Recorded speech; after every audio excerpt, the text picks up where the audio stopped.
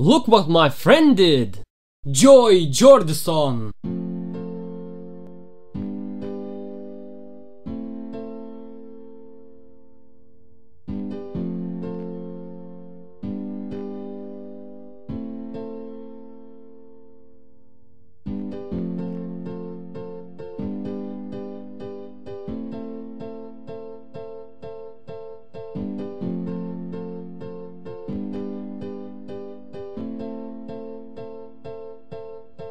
thank you